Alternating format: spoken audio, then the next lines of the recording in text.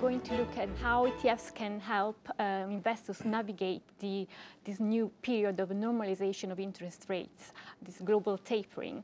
Antoine, the um, European ETF space has long been dominated by equity products, but last year the majority of inflows into European ETFs went to fixed income exposures.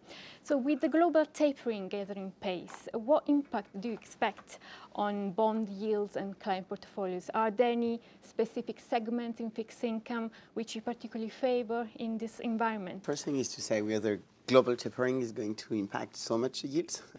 Our view is that it might have a small impact, but it's more due to the kind of global economic environment, which is, well, I wouldn't say more than I would say more than burgeoning, which is relatively positive. If you're looking at the very long-term trajectory, we don't see yields going up uh, or very high and very soon. And the second point is that tapering is extremely well telegraphed at the moment, and so the specific impact in terms of how it's going to impact on yields, term structure, and so on, is hopefully going to be relatively minor.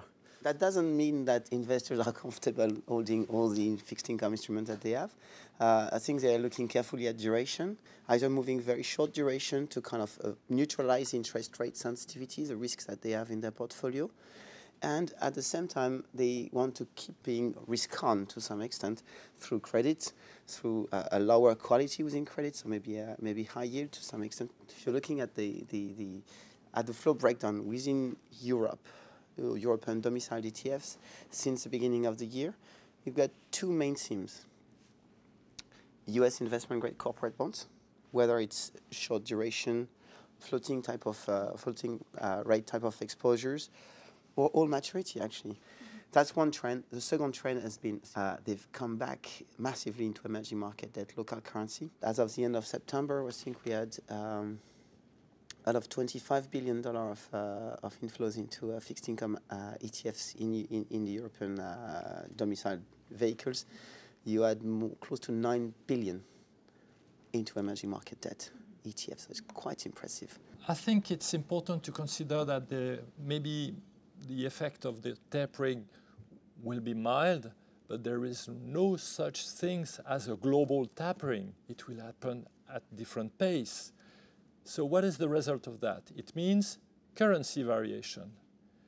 And it means that if you want to invest in an equity market, you have also to care about the currency risk. Mm. And the beauties of ETF is that you can choose either you want to have a local market exposure or you can neutralize the currency uh, risk. There is, because of the tapering, op tactical opportunities between the regions but beware of the currency risk.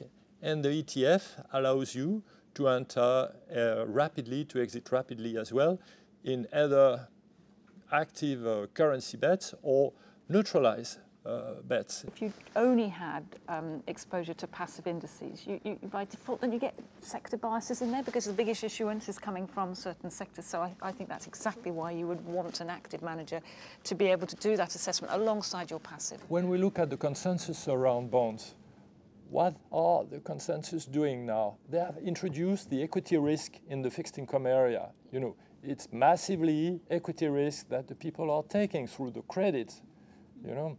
And the purpose of bonds in a portfolio is to be an insurance. It's the rush for safe assets that will make the difference. And I think for me, I found the, the ETF very interesting also to have full exposure to the duration that you will need in case there is a recession or an extreme risk. And you can have that through the full maturity benchmark and ETF that is behind. In passive investments on the fixed income side is small. So I don't think there's a major market impact when it comes to price discovery. So in the end, it's all about the active managers and maybe about the central banks doing a distorted price discovery, not about the index vehicles distorting the market. Passive in fixed income represents roughly shy of 11%. It's three times what it was to, in 2007, fair enough. So it's been a strong growth. Mm. But it's still very, very far away from what it is in the equity market. If I look towards our fixed income, um, the vast majority of our portfolios on the fixed income side are actively managed. And when we have exposure to high yield and emerging market debt, we do limit that uh, and we do prefer active managers. We take comfort in uh, a house having 200 you know, uh, credit analysts um, there. And the same on, on the equity side. We're overweight uh, emerging markets. But looking at that as part of our diversified portfolio, that exposure will, will be limited. We look towards active managers in that space for liquidity and transparency and, and also the fundamentals. Mm-hmm.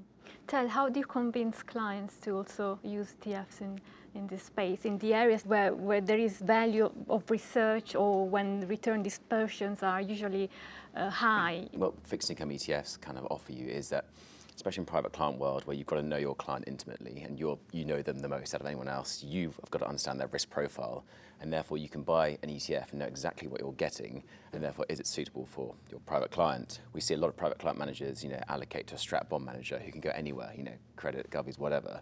And so you don't know what kind of risk he's going to be taking in the next sort of iteration of his investment process. And so therefore, how can you control the overall risk? So I think they give you the building blocks to be able to manage your clients in a very risk-controlled way.